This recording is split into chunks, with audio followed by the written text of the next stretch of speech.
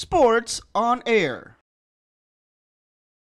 Ay, please, uh, subscribe niyo po ang Sports on Air dahil napakaganda ang ginagawa nila. So yun, God bless po. Maraming maraming salamat. Sir Rocky, first of all po, congrats po sa success po nung ina- inaugural season po natin, conference. Ah, ano po masabi niyo po sa magandang turnout po nito? Okay.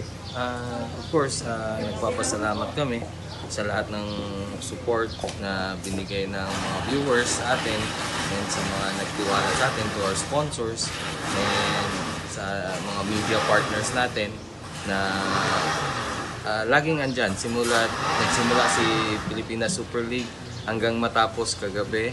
Ah, we're, we're just so thankful to everyone na tuloy-tuloy ang pagsuporta nila sa Pilipinas Super League. Sir Rocky, based sa observation niyo po dun po sa niran po natin na conference, so far, ano po yung nakikita niyong dapat pang i-improve ng liga? Uh, actually, there's a lot of room for improvement. Ang dami pang pagbabago na mangyayari. And of course, uh, ito namang inaugural season is sort of, we are um, dry run of, of what to expect in the in the coming conferences. So, may mga kung i-rate namin, we're still at uh, from 1 to 10, I could say around 6. Kasi ang dami pang room for improvement, ang dami pa namin gustong gawin para mas lalong mapaganda at mabigyan natin yung mga mga basketball fans natin ng mas magandang aksyon, mas magandang coverage. Ah, ang dami pa, ang dami pang magaganap. You mentioned po yung ah, upcoming conference. Tell us more po about dito. Ano pa po ba yung, yung kumbaga, hindi pa nakikita ng fans na mas, ma, dapat nila abangan for the next conference? Yes, uh, actually we are preparing ngayon pa lang, kakatapos lang natin but we're we're starting to prepare uh, for the upcoming conferences.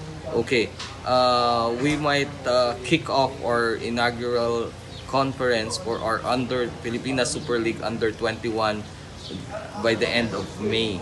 So it will be teams from Luzon, Visayas, Mindanao. Actually, marami na ang nag-show interest kasi nag-dry run tayo nung invitational ng under 21 in Rojas and uh, maganda ang reception ng ng viewers, ng basketball fans and of course sa mga teams have shown interest this early. So medyo marami-rami sila and uh, we're just so happy na uh, umpisahan to this coming May.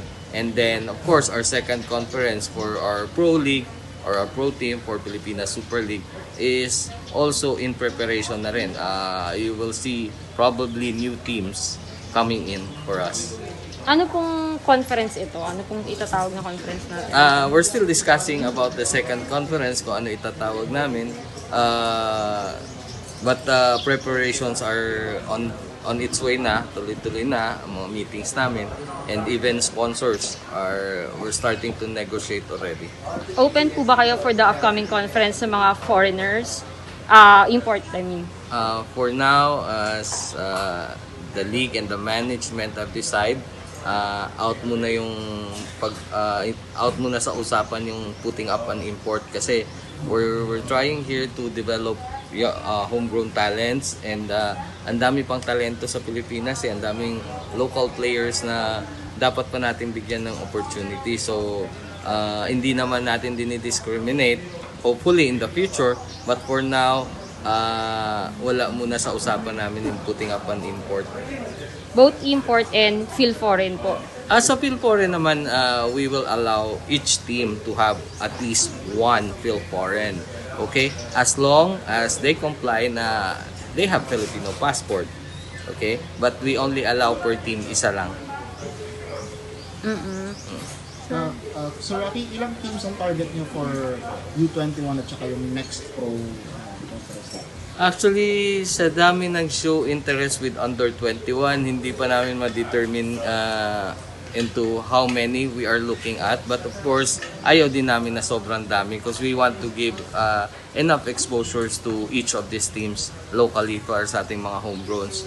Um, but this early, we are looking at, for example, Mindanao. It will be probably be a north and south competition within Mindanao. So Ah, para naman hindi alam na natin nag-uumpisa ng mga schools ngayon. So yung mga kabataan din they have limited time to to travel or to to focus on on their basketball. Kasi andyan na eh umpisa ng ah, kumbaga pagbabalik na ng ano sk- eskwela hindi na online eh. So we're we're finalizing everything the schedules and ah, yun nga north and south siya kasi ang mangyayari ah, from Bukidnon side down to to Dipolog, Dapitan, yun yung yun yung maglalaban-laban. And then on the other end, we have Davao City, Davao Occidental, Davao de Oro. Yun naman on the other side. So maglalaban yan within their regions. Then tsaka lang magtatagpo yung Luzon, Visayas champion. Yun. Sir, yung under 21, priority sila sa, kumbaga sa pro kapag ka may draft. Yes, yun yung yun yung developmental program ng Pilipinas Super League na hopefully ah, pag natapos na sila sa under 21 eh may mga may mga teams tayo in the pro ranks that would pick them up. And then of course, yung may mga potential, syempre dun sa pro ranks naman natin, pag may mga potential, yun yung tutulungan din ng liga na maiangat sila sa PBA. So, pag ah, nakita natin na potential talaga yung bata and may mga teams na interest, tutulungan ng Pilipinas Super League. Okay, uh, Sir Rafi, mga papos na bata mo. Yes, uh, of course, we, we would like to thank all the fans, the viewers, and wala yung mga taong walang sawang sumusuporta sa Pilipinas Super League. Sobrang pasasalamat namin. Thank you for all the support kasi kung hindi dahil sa inyo, wala si Pilipinas Super League.